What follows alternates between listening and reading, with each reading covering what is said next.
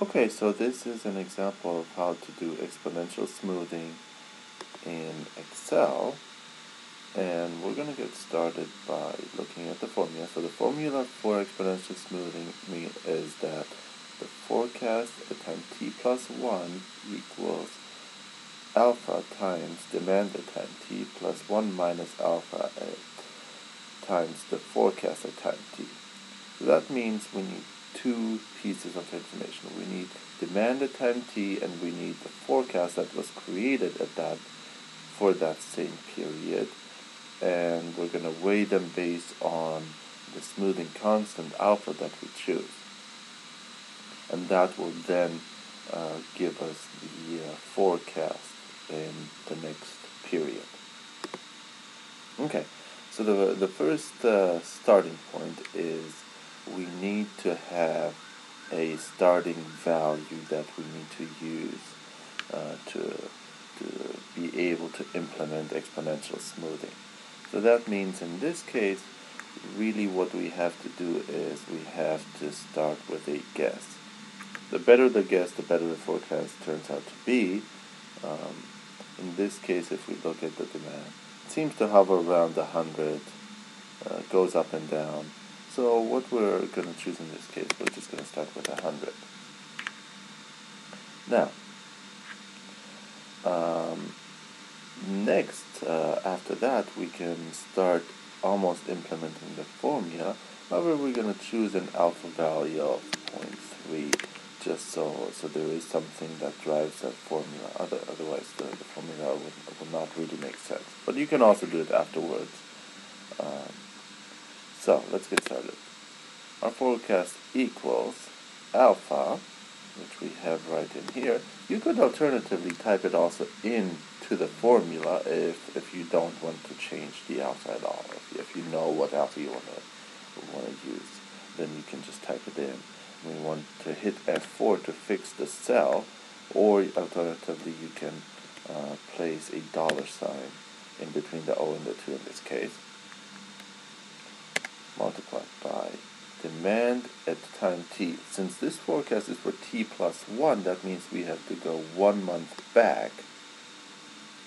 Or in this case, we are at the end of January. We've served that demand, and we're going to make a prediction for how much uh, we're going to sell in February. Plus 1 minus alpha, which again needs to be fixed parentheses, multiplied by forecast in period 1 of January, which was our, guess of 100. Okay, so the result is 106. In this case, another thing that we should do, because demand is just in uh, full integers, we, we don't want to get any fractions. So we're going to apply the round function to this forecast just to make sure that we, we don't forecast half units or so on. By doing that, we just type in round right after the equal sign, open parentheses, and then go all the way to the end of the formula.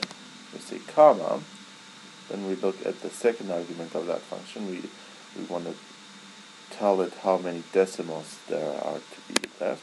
We want to say zero, we don't want any decimals, and then we close parentheses, and that's it. Okay. Our forecast is 106. We could now basically drag down this formula and it will create a forecast. Now if we look at this forecast, it looks, looks pretty good. It doesn't pick up all the variance, but most of that is noise since true demand seems to hover right around 100. Um, by playing around with alpha, let's say we're going to choose 0.4, we can change how um, the forecast reacts to demand. Smaller, make it 0.1, then it becomes more stable. So that's the nice thing about having alpha in a separate cell. You can just type in the value for alpha, and it will change how, how good the forecast is.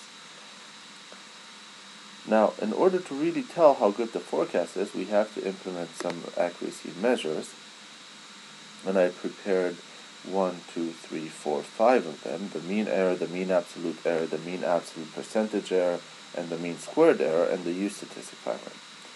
Now for the U statistic, there, uh, there are two terms that are necessary. One is the squared error, and the other one is the uh, accuracy of a forecast that would be produced by the naive method. And uh, I'll show you right now how all of that is done. So forecast error is demand minus forecast. Our absolute uh, error would basically be the absolute value of that error. Our percentage error would be, uh, and in this case we're going to do absolute percentage error. It will be our absolute error divided by demand. Our squared error would be our forecast error that we just calculated raised to the second power. And then finally the denominator that we need for the Theil's U statistic is uh, the uh, forecast accuracy that we would have obtained with the naive method, which in this case we're going to subtract, we're going to take current demand and then subtract the demand one period ago, because that's what the naive method was, would use as a forecast. We raise that to the second power. So now I can take all of these and I can copy them down. And here's our accuracy measure. I turned on conditional forecasting just so we can see how good our forecast is. Um, it's nice to see visually as well as uh, in numerical values, I think. Now, to calculate the mean error, we just take the average of the column where we calculated the error, just like so. Calculate the mean absolute error, it's again the average of column F, which is the absolute error. The mean absolute percentage error is the average of column G, which is the absolute percent error. The mean squared error is the average of all the squared errors. And then finally, Theil's U statistic is the square root of the sum. Careful to actually do the sum and not the average. The sum of the squared errors divided by the sum of the squared errors that we would obtain with the u with the naive forecast method. Close two parentheses, and here we go. Okay. Now this is already looking pretty good. Uh, the only other thing that we could do is basically say, well, let's see if we can do better with different alpha values.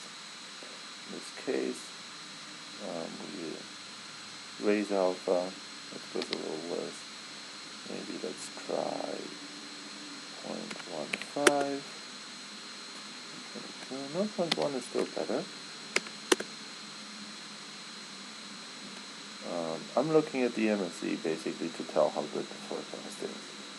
Um, you, well, you, you could do this manually and see uh, uh, how uh, how good the forecast is. However, if uh, if you want to not do it manually and you want to find a way of, uh, of finding the optimal value right away, then one uh, very good method to use is this goal seek.